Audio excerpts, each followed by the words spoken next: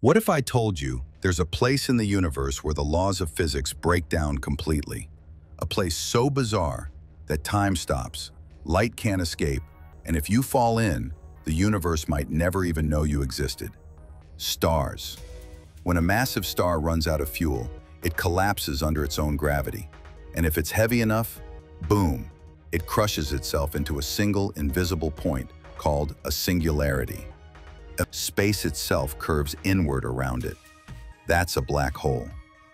The supermassive black hole at the center of our Milky Way is quietly influencing the orbit of every single star, including our sun.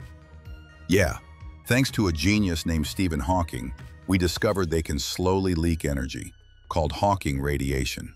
This happens because, right at the event horizon, pairs of particles constantly pop in and out of existence.